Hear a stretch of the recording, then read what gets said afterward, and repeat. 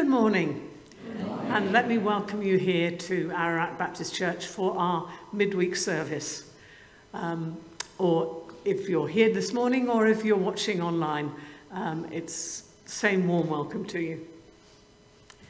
Let us worship today remembering that we have a God who is not distant and uncaring, but one who listens to his children's voices.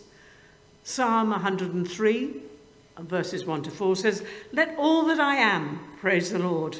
With my whole heart I will praise his holy name. Let all that I am praise the Lord. May I never forget the good things he does for me. He forgives all my sins and heals all my diseases. He redeems me from death and crowns me with love and tender mercies. Let us pray as we come to God. Lord of light and life, we come to you this morning to seek your face and to encounter your love. So many things this week have distracted us, turned us aside, or drowned out your voice. So we ask now that you call us to you once more. As we turn our faces to you, may our eyes blink at your brilliance and our hearts beat at your beauty, and our lives reflect your radiance. Open our hearts and minds to the new light you bring to us. Enlighten, convict, illuminate, and comfort each of us as you choose. Awake us from our slumber and provoke us to faith filled action. And may we know that we have met you in this place. Amen. We're going to start this morning with a familiar hymn. Talks about um, the might of God, but also the mystery of God. Immortal, invisible, God only wise.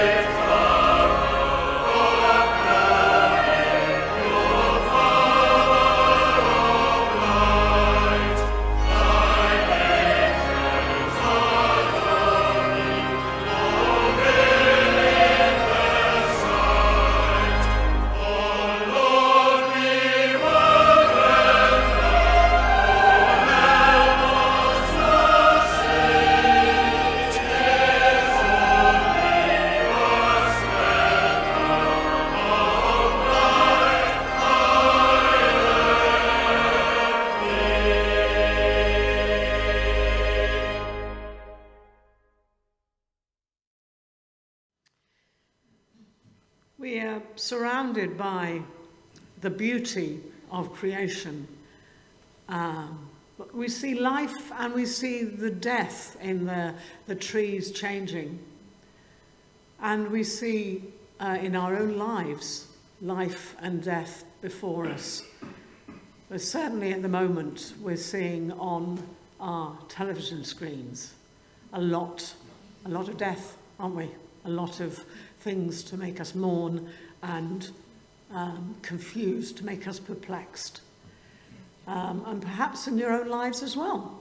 Um, and so, in this mystery and this sadness and this confusion, let's bring all these things to God in prayer.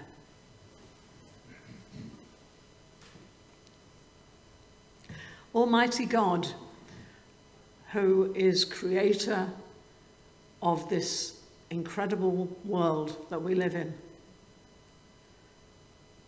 who is creator of the, of the rolling spheres and the, the starlit sky, the beauty that is around us, the seasons as they change, the new birth of the, the little babies and families that we rejoice with, but also the, the families we see that have also lost people that they love. Lord, we rejoice when we know about um, people gathering together and working together and um, contributing and convening and so on, supporting each other. But then we see so much division in the world. And we know that it must grieve your heart even more than it grieves ours. Lord, we bring to you the brokenness we see, the brokenness in our own lives, the brokenness in our, uh, our families, the brokenness in our country, brokenness in the world. Lord, you are the mighty, all powerful one, and yet you never use that power to beat people down, to snatch, to overrun, to kill, to maim, to drive apart. Lord, we grieve for the heartache that there is in the Middle East, in Ukraine, in Russia, in America, places in America and places in Far East. Lord, we are sorry. We're sorry for our own part in division. We're sorry for our own uh, partisanship, for our own judgmentalism, for our own lack of care. But Lord, we raise these situations up and ask you that you will intervene, that you will bring light into the hearts of people who at the moment seem to be in darkness. We ask you, Lord, to bring healing. We ask you, Lord, to bring forgetfulness of the sins of others and the hurt and the pain that's caused so that there may be a chance to build, to rebuild. We ask you for reconciliation.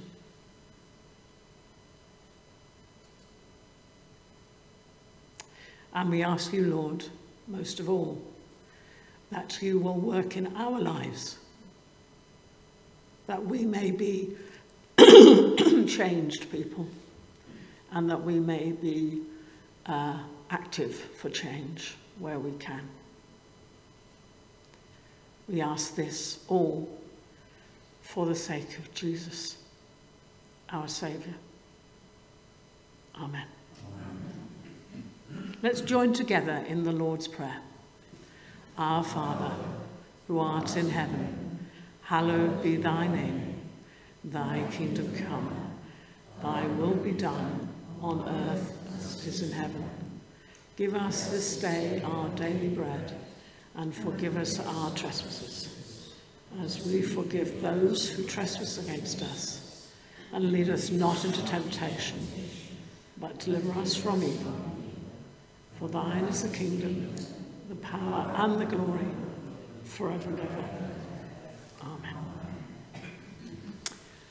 Our readings today are taken from Psalm 39 and from Mark chapter 10. First of all, Psalm 39, verses 1 to 7 and the verse 12. I said to myself, I will watch what I do and not sin in what I say. I will hold my tongue when the ungodly are around me. But as I stood there in silence, not even speaking of good things, the turmoil within me grew worse. The more I thought about it, the hotter I got, igniting a fire of words. Lord, remind me how brief my time on earth will be. Remind me that my days are numbered, how fleeting my life is. You have made my life no longer than the width of my hand. My entire lifetime is just a moment to you. At best, each of us is but a breath. We are merely moving shadows, and all our busy rushing ends in nothing. We heap up wealth, not knowing who will spend it. And so, Lord, where do I put my hope? My only hope is in you. Hear my prayer, O Lord. Listen to my cries for help. Do not ignore my tears, for I am your guest, a traveller passing through, as my ancestors were before me. And from Mark chapter 10, verses 17 to 27. As Jesus started on his way, a man ran up to him and fell on his knees before him. Good teacher, he asked. What must I do to inherit eternal life? Why do you call me good? Jesus answered. No one is good except God alone. You know the commandments. You shall not murder, you shall not commit adultery, you shall not steal, you shall not give false testimony, you shall not defraud, honour your father and mother. Teacher, he declared, all these I have kept since I was a boy. Jesus looked at him and loved him. One thing you lack, he said. Go sell everything you have and give it to the poor, and you will have treasure in heaven. Then come, follow me. At this, the man's face fell. He went away sad because he had great wealth. Jesus looked around and said to his disciples, How hard it is for the rich to enter the kingdom of heaven. The disciples were amazed at his words. But Jesus said again, Children, how hard it is to enter the kingdom of heaven. It is easier for a camel to go through the eye of a needle than for someone who is rich to enter the kingdom of God. The disciples were even more amazed and said to each other, Who then can be saved? Jesus looked at them and said, With man, this is impossible, but not with God. All things are possible with God. May the words of my mouth and the meditation of all our hearts be acceptable in thy sight, O Lord. Amen. They say it's a matter of perspective. How close to reality is the way we look at things? For we can view the same scene from different positions, from within or from the outside, from above or below, looking forward to it or looking back on it, personally involved or dispassionately, in support of one team or the other. Isn't that a fact?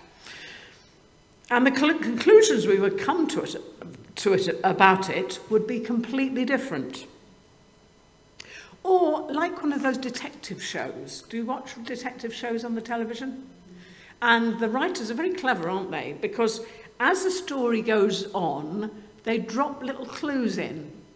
And all through the show, if you're anything like me, you say, Oh, I know who did it. I picked up that clue. I know who did it. I know who's guilty. And then as the show comes on a bit further, something else, and you say, Oh, no, it wasn't him. It was, it was her.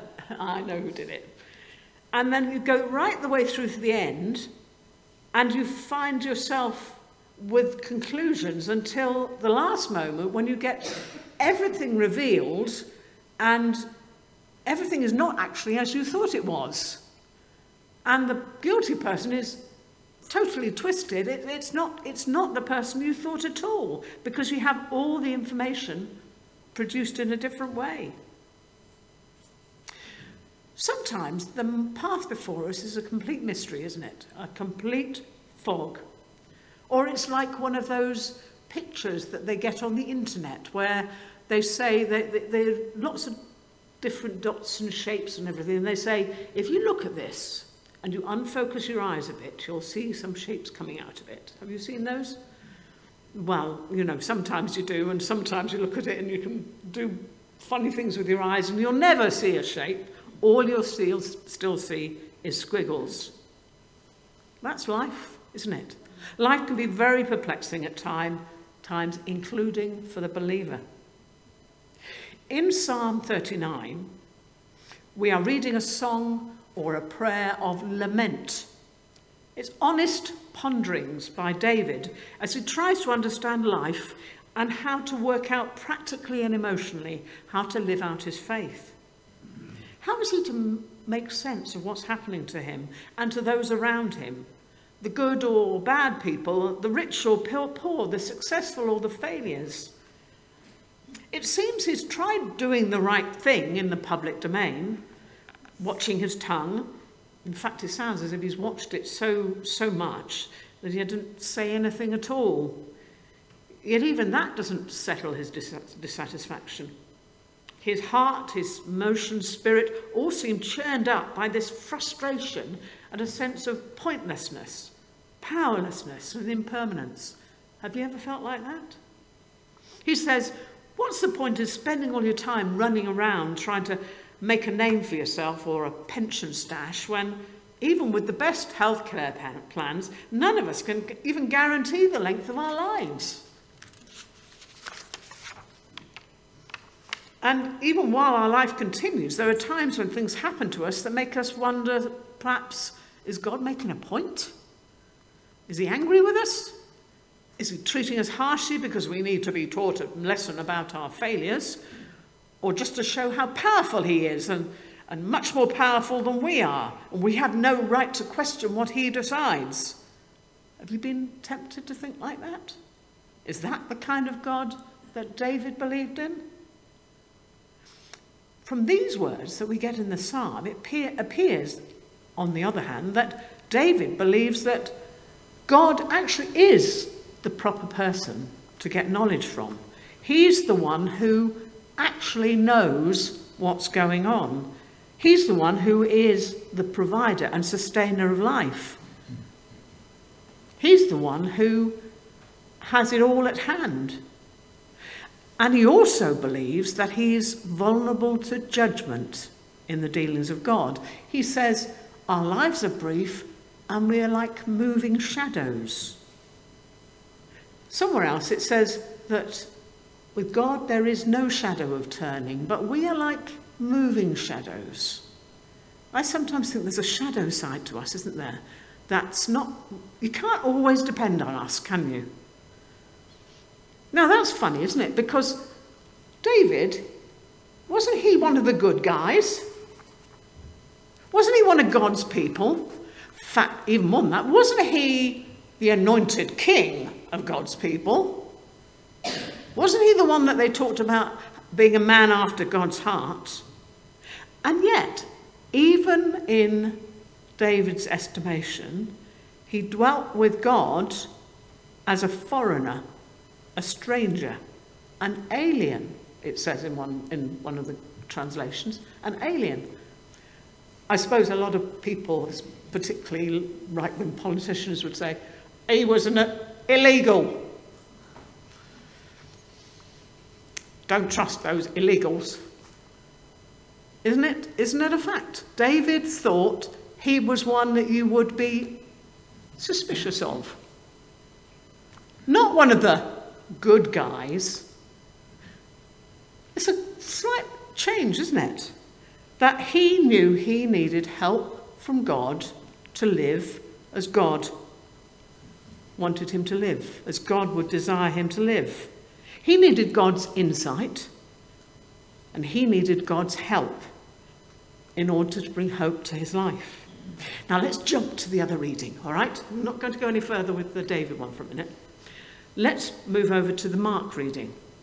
Now that's about a young man, rich young man, who comes to see Jesus. And now remember who Jesus is. Jesus is the Son of God, the third person of the Trinity, and that's who Jesus believes he was, okay? And the young man comes to see Jesus and he wants to ask him how to earn eternal life. And the young man comes up and calls, the, calls Jesus good teacher.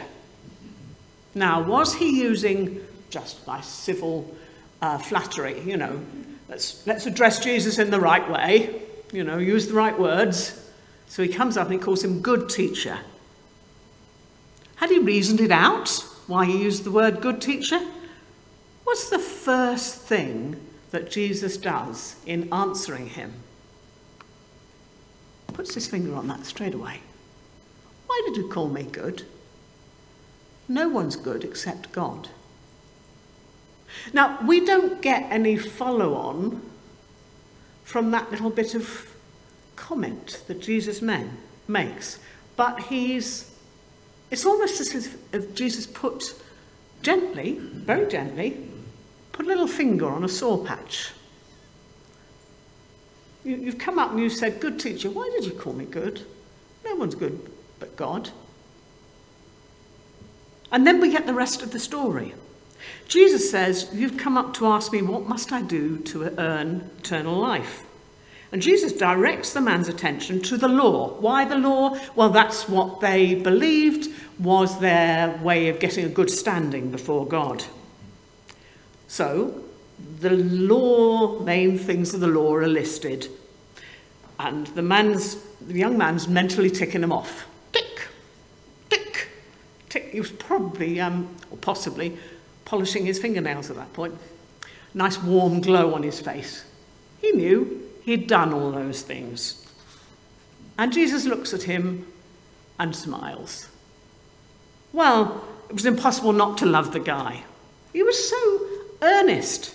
He was so apparently up for it, being a good person, carefully ticking off all the boxes for his security in this life, and he hoped the next. Jesus, I guess looking at the heart rather than the tick boxes, looked for where his sense of security truly lay. And he chose to test it in two ways. He asked, or he, he tested in his asking, what he next says, would he still feel secure if he handed his hoarded resources over to embrace a wider understanding of God's provision of his daily needs? Listen to that again. Would he still feel secure if he handed his hoarded resources over to embrace a wider understanding of God's provision of his daily needs. Now, this young man, he was rich. He was rich in, a, in an era when people didn't have riches. Daily life was just scraped by.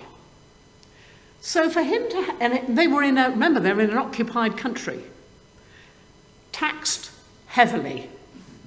For him to have some money, extra money, hoarded riches, he either has to be kind of, I don't know, bucking the trend a bit, perhaps paying his workers not too much.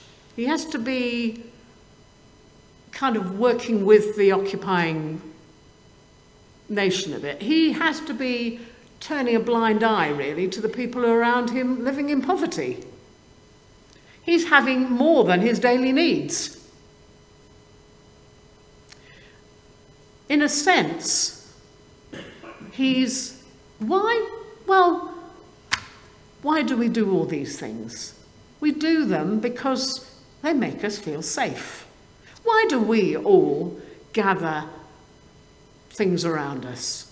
They make us feel safe. Why do we gather emotional stability around us? Because it makes us feel safe and secure. He said, Go and sell everything you have and give to the poor. What? Well, the poor have daily needs as well. Let go of some of that hoarded resources. Would you still feel safe if you let go of some of those hoarded resources and cared for those poor around you? He's testing the young man. You, you pray, give, give us each day our daily bread. Would you feel secure with just your daily needs sorted? Or do you need security in your hoarded resources? And also, there's this perception of your understanding of those, that law. How wide is your understanding of that law? So there's that. But secondly, he's kind of basing his security on the fact that he thinks he's good in himself. David didn't think you could be good in yourself. The only person who's good is God. In which case, you need a saviour. You need a God who provides you with the goodness. So, the second thing he says is, he says, Go, sell everything you have and give to the poor, then come and follow me. Get my insight on security. Get my insight on what living life to the full is about. Was he prepared to do that? Would he still feel secure if his sense of righteousness was achieved not by his own efforts, but merely by his intimate relationship and direct guidance by the truly righteous one, the God one, the source of all goodness mercy, justice, and love. Because that's what he was being asked to do. And that's quite a big thing, isn't it? To realize that it's not actually about your goodness, but about the self giving intervention of the God who is not just loving, but love itself, not just compassionate, but the spring of compassion, not only fair, but the arbiter of complete justice, not resourcer of an in group but provider of all. I think that's why we that's what we hear in Jesus' frustration in his conversation with those who came to him simply, excuse me, simply seeking more bread to eat following his feeding of the 5,000.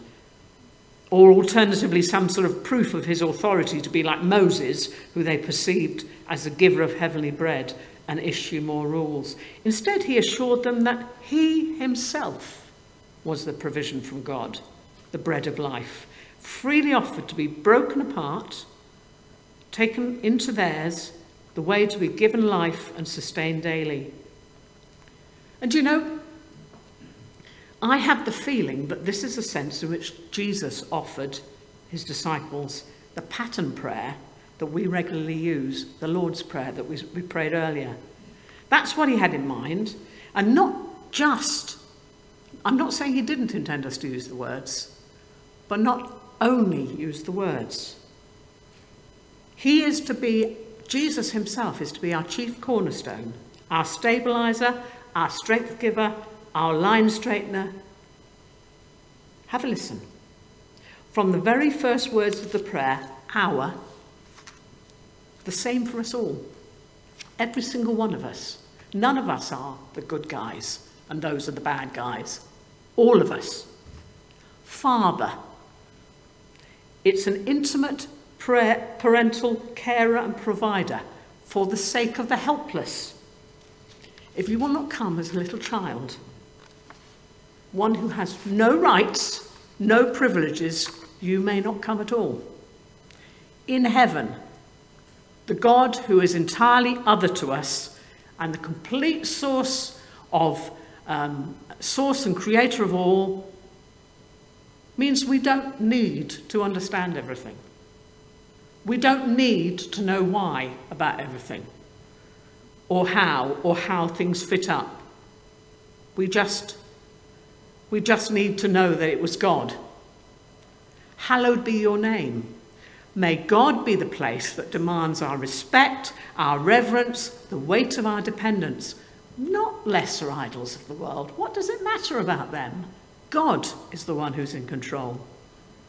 May your kingdom come, your will be done on earth as it is in heaven. In other words, may our lives be directed or moulded such that they closely follow or closely mirror Jesus' way of relating or doing things. Like the old fashioned disciple, walking so close to his teacher that they were covered with the dust from his sandals. Give us our daily, this day our daily bread. Develop in us a sense of what we really need and not what will be a distraction or a needless burden. Forgive us our sins as we forgive those who sin against us. In other words, create in us a passion for seeking reconciliation, even in the face of opposition, and your deep walk alongside compassion for those who struggle just as we do. You see, this is a completely different relationship with God that we are being invited into that we will enjoy life in its fullness. The kind of relationship that Jesus knew. And that was the relationship that he was prepared to rest himself on. That's where you know eternal life and eternal peace. That was the life, that was their relationship where he could go to sleep in a boat when there's a storm. That was the relationship he had where he prayed in the night in the Garden of Gethsemane.